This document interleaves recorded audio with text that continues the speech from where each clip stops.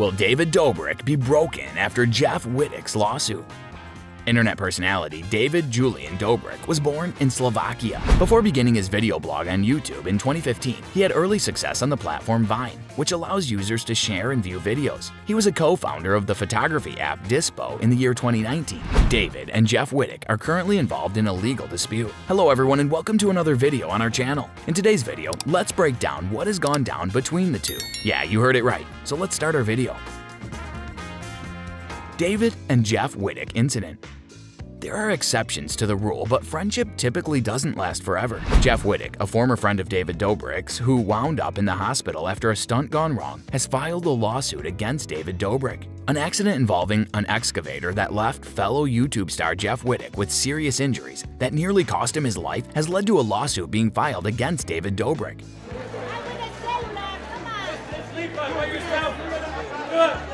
According to TMZ, Wittek, a former member of Dobrik's Vlog Squad, who made videos with him and other influencers in that group, has filed a lawsuit claiming that he suffered critical injuries due to Dobrik's actions. According to Wittek, he accompanied Dobrik and some of the latter's pals on a trip to Utah Lake in Provo, Utah during the summer of 2020 to make a video that would be a part of Dobrik's social media return. Wittek went on to say that the video's concept was that Dobrik would park an excavator in the lake with a rope dangling off the bucket and then use the heavy machinery to swing people around in the water while they were riding on things like wakeboards and inflatable tubes. Nevertheless, Wittek claims that while they were filming, Dobrik recommended that they attempt one in which someone grabbed onto the rope while he swung them about in the air. According to Wittek, Dobrik, the excavator operator, started swinging the arm at unsafe rates before quickly slowing it down when it was his time. It caused Wittek to slam into the excavator's side and suffer many injuries.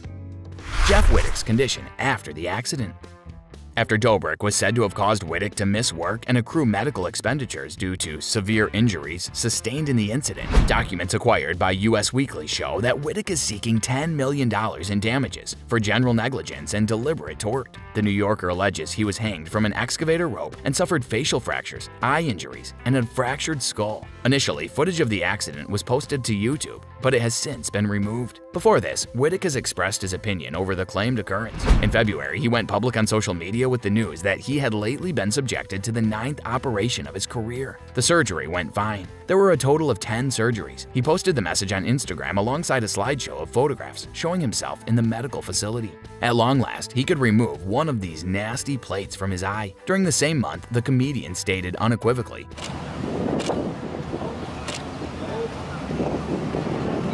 that he and Dobrik have severed their communication due to the Slovakian native's apparent failure to reach out to Wittek after his friend was admitted to the hospital. Wittek claims he has lost salaries and earning power due to the incident and has racked up a considerable amount of medical debt.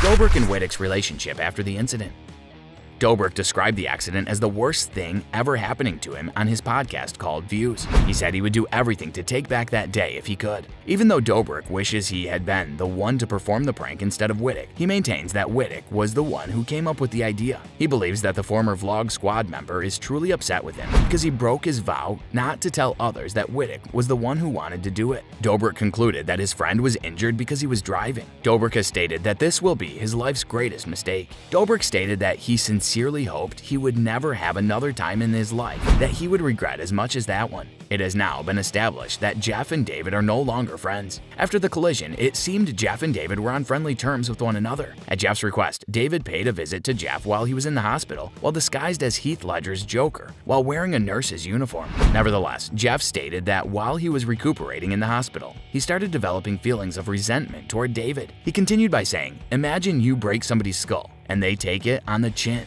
They don't sue you, and they don't pursue charges against you. He added that he was an inch away from passing away and an inch away from going blind before he was saved. He would have brain damage for the rest of his life, but he prevented him from screwing everything up. You would have been deported, you would have been placed in jail for manslaughter, and you could have sued for everything. He swallowed his pride and dealt with the consequences. At least the two of them appear to be in a great deal of discomfort. We hope that Dobrik and Jeff can get back to being good friends.